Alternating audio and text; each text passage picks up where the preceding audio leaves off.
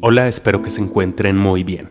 En este video voy a explicarles qué es la comunicación. Voy a hablarles acerca de esta palabra, de su etimología, acerca de por qué es importante en la sociedad y voy a darles algunos ejemplos.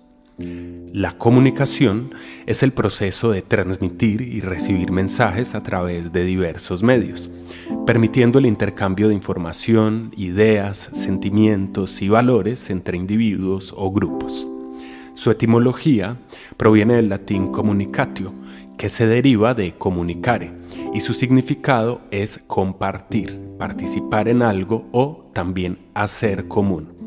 Este origen subraya la esencia de la comunicación como un acto de conexión y compartición, que es esencial para la construcción de relaciones, el entendimiento mutuo y la coordinación de acciones en la sociedad. Ahora, ¿por qué es importante la comunicación en la sociedad? Pues la comunicación es fundamental en todos los ámbitos de la vida social, económica y política, ya que facilita la interacción humana y el funcionamiento de las comunidades. En el ámbito personal, una comunicación efectiva es crucial para el desarrollo y mantenimiento de las relaciones saludables, permitiendo expresar emociones, compartir experiencias y resolver conflictos. En el contexto profesional y organizacional, la comunicación es vital para la gestión, la toma de decisiones y la colaboración, impactando directamente en la eficiencia y la productividad. Ya a nivel social, la comunicación juega un papel clave en la formación de la opinión pública, la difusión de conocimientos y la promoción del cambio social, cultural y político. Algunos ejemplos de comunicación son la comunicación puede adoptar diversas formas y aplicarse en múltiples contextos, incluyendo la comunicación verbal, que es el uso del lenguaje hablado o escrito para intercambiar mensajes. Y esta puede ser directa, como en conversaciones personales, discursos y presentaciones, o mediada por tecnologías como en las llamadas telefónicas, correos electrónicos o en las redes sociales.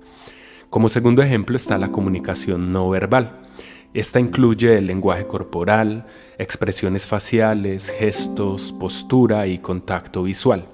También el uso de símbolos y signos. Esta juega un rol crucial en la transmisión de emociones y actitudes. Otro ejemplo es la comunicación visual, que es el uso de imágenes, gráficos, colores y diseño para comunicar mensajes. Esta es esencial en el marketing, la publicidad y los medios de comunicación. Y como último ejemplo, la comunicación efectiva. Esta implica no solo la transmisión de mensajes, sino también la escucha activa, la empatía y la retroalimentación constructiva. Y es esencial para el entendimiento mutuo y la resolución de problemas. En conclusión, la comunicación, con su capacidad para conectar a las personas y facilitar el intercambio de todo tipo de contenidos, es uno de los pilares fundamentales de la sociedad. Su práctica efectiva y consciente es crucial para el desarrollo personal, el éxito profesional y la cohesión social. En un mundo cada vez interconectado, la habilidad para comunicarse de manera clara, respetuosa y empática se destaca como una competencia esencial, capaz de trascender barreras culturales y geográficas, enriqueciendo así nuestras vidas y comunidades. Bien, espero que les haya gustado y que les haya sido útil este video. Recuerden dejar en los comentarios cualquier duda, inquietud o apreciación.